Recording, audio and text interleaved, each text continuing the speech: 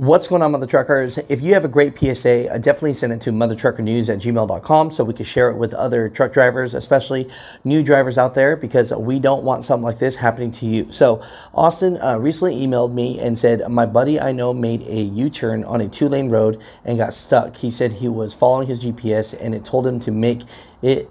I don't know how to get all the snap crap off. He was uh, in the Ogburn, Texas, headed to. Ozarka water plant. The ironic thing is, if he would have uh, stayed straight, he would have gotten to the plant. Man, I butchered that. yeah. People are gonna find out real quick that I can't read good, but my comprehension is good. All right, sit down here. What? You're gonna read this for the first time because you like making fun of me. So, all right, sit down here, and then I'm going to.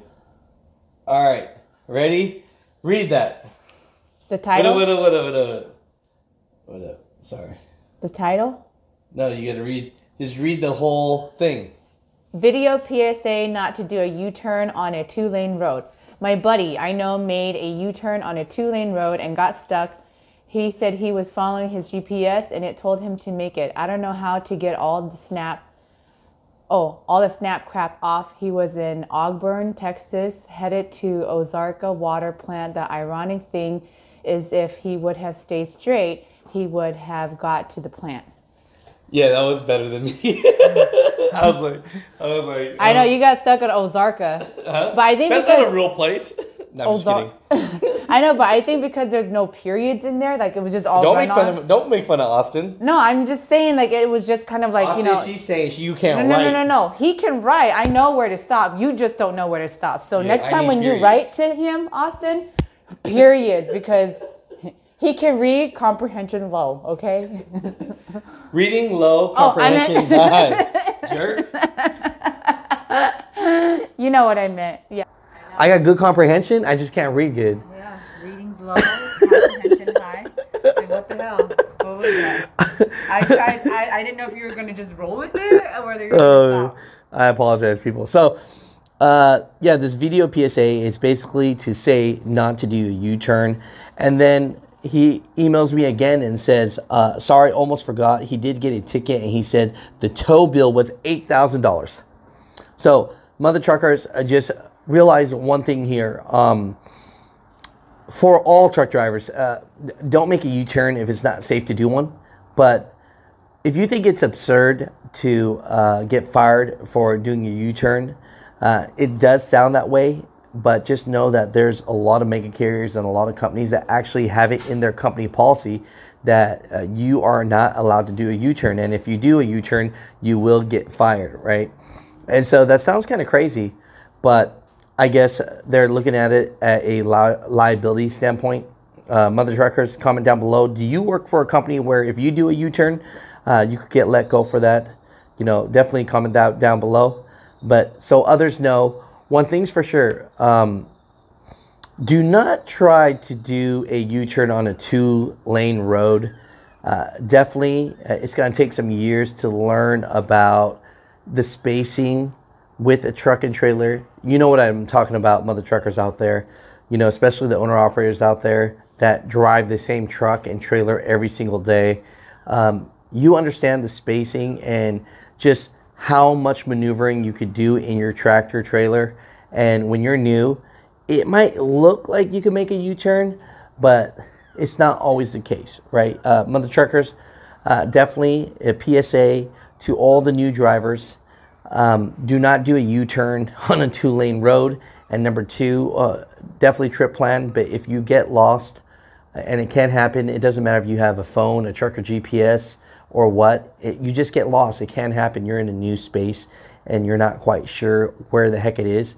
And it's even worse when you ask the shipper for any advice because they'll always just tell you, yeah, just keep on going straight. You'll make it, you know. And, oh, yeah, that truck will get in. You know, you hear that so many dang times that you know you could make you could become a millionaire, right? How many times a, a shipper or dispatcher told you that you could get in no problem, right? And you find out that there's only enough room for a box truck. But mother truckers, what advice do you have for truck drivers out there uh, when doing a U-turn, and what experiences have you had with that? But 100%, I mean, you can't even get mad at trucking companies for this because if it's a part of their policy, you got to play their game, right? You're working for them. But you know, Austin, I appreciate you for the email. Uh, thank you so much, and 1,000%, man. Uh, wishing your friend the best. $8,000 bill is a hefty bill, and uh, people get let go for less. But hopefully, uh, you know, your buddy can find another job with this. But for everyone else, um, hopefully, this is a great PSA for all you. And comment down below. Thank you. Let's do you one, man. What's, what's your name, bro? Andy Garcia, You know, how long you been trucking? two years now, You know, uh, how old are you? uh, 23 years old. You know, what's the dream? Uh, being an owner operator and uh, I don't know, just be a free, uh, self-employed. I heard that, man. Um, everybody says it's hard to be an owner operator right now, but you still want to do it?